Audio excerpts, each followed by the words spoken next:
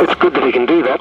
It opens up possibilities if we can load up um, those light poles, a ready-made um, antenna in a lot of sporting grounds. That's great. An attempt to load up a tall light pole. I'm using a loop made of 20 metres of insulated wire. About a third of that is running parallel to the tall light pole, with it being supported with a squid pole.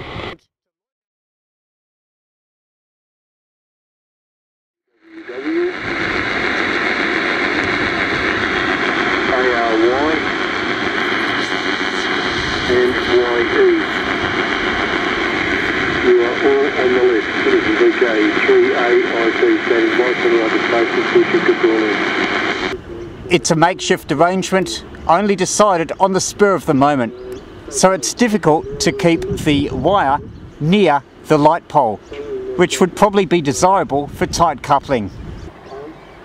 What I'll do, I'll just tie the wire so that it's tightly coupled. Yankee Echo in the group from VK 3ALY. The antenna I'm using now is a 26 metre long light pole that I'm trying to load up with a feed loop of around 7 metres parallel to it. So I'm using two squid poles to hold the loop.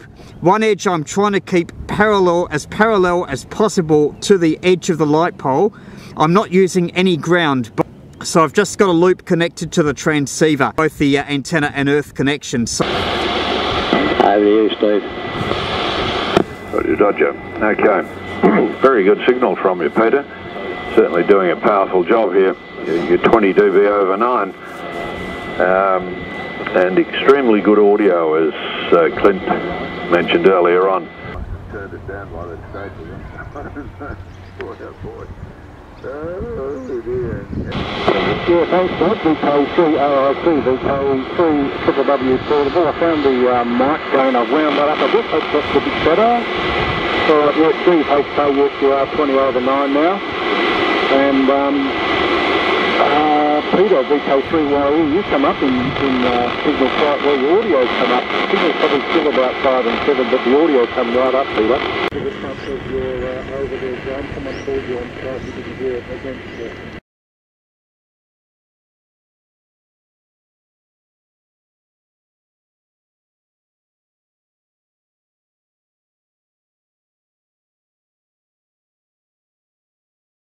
Sure you about because you don't go down there all that often.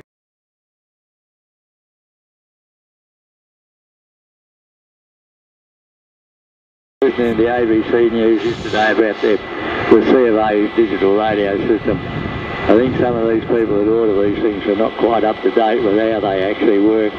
This is the coupling loop. Running a bit along the ground, that's undesirable, and the transceiver should probably be close to the pole. I'll just follow the wire. If you can't see it, it's near where my hand is. I've just got it twisted half a turn around the pole. Not intended, but just because there's a catch here. And all this bit here, it runs right up against the pole. And then it goes up to the squid pole, which you can see there's a gap at the top of the pole. It should really be held with something a bit tighter than this that would keep it hard up against the pole. And anyway, it goes across to, you, know, you can see the wire in the breeze, goes to the top of another squid pole. That's just on an adjacent fence. And then that goes back to the transceiver. Yes, I'll, uh, I'll pay particular attention to the roses. So one end connects the to the antenna connection, duration, the other to the breeze. earth.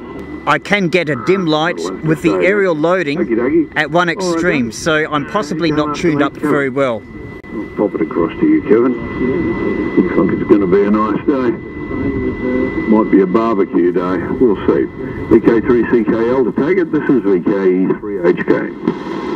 Yeah, good luck with the barbecue there, Steve. VK3HK, VK3CKL, and uh, The next experiment was to connect the ground tuning unit in series with the antenna connection. That is the loop that I'm using to feed into the light pole. That produced a brighter light on the transceiver's indicator. you popped up to be about 10 over 9. CVK3CSJ, VK3CKL. Yeah, no problem. VK3CKL, VK3CSJ. Yes, good signal here, uh, uh, Kevin. You're uh, kicking up over the 40 mark. Mr. YE, loading up the light pole, the way you're doing it is working fantastically. Uh, you're uh, 25 over 9 now and kicking up to 30 on modulation.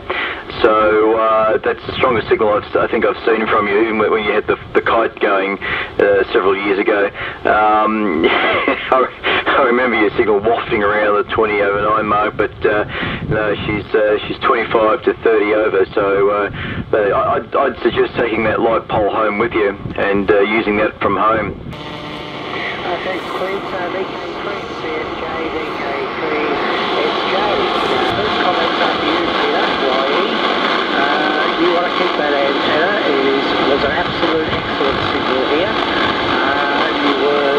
one overly strong, which you wouldn't expect to be. Over this distance, you were uh, really fine. Absolutely excellent copy. Across to my own antenna and 558.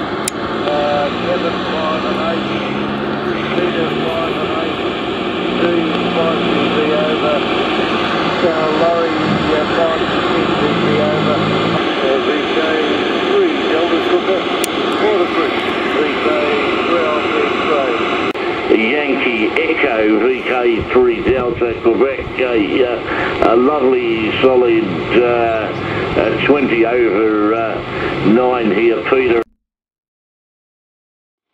Yeah, here you go, Peter. Um, look, uh, excellent signal. I thought I'd, uh, I'd report here and tell you that. I'm a bit busy. I haven't really got time to be on the air, but um, whatever you've done there is working well. I hope. I wonder if you're going to make a, uh, a video out of it. Anyway, I'll put it back to you, VK3YE portable, VK3ASE.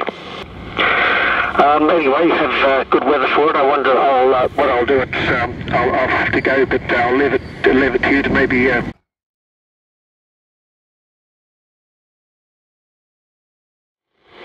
yes, Peter, it's uh, VK3SJ. I made a brief recording of one of your transmissions, and I'll just play it back for you now.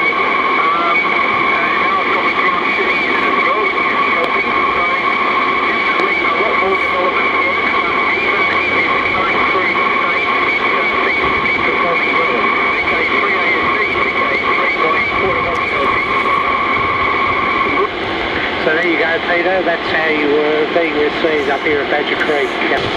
Yes, thank you very much. Uh, Bono Bill, Bravo India Lima, Lima, Bravo India Lima, Lima, located in Pakenham. Uh, Pakenham, southeast of Melbourne, of course.